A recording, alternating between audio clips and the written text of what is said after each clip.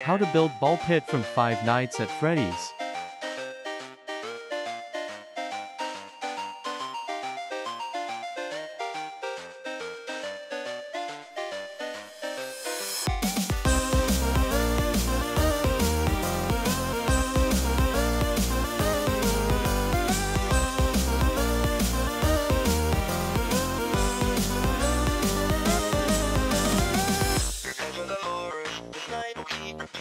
Grab as many studs as you can. Make sure they are colorful and not transparent.